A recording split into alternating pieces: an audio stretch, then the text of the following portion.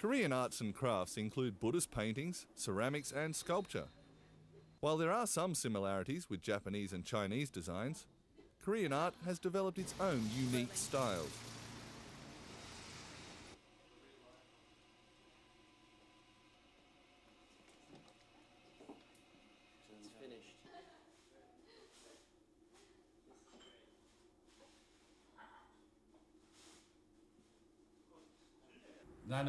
As a Korean young man, I was strongly eager to carry on our ancestors' tradition, especially traditional art like ceramics.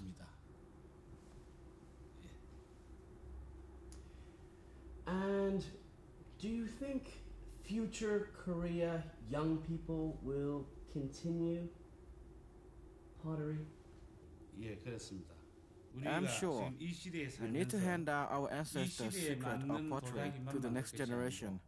앞서간 I am very proud of 앞선 that I have many 선조들에게 enthusiastic 만드는 students 그 to learn 비법을 pottery, 다시 전수받아서 including my son. 내일에 다시 연결시킬 수 있는 젊은이들이 지금 저희 집에서도 많이 연수를 받고 있습니다.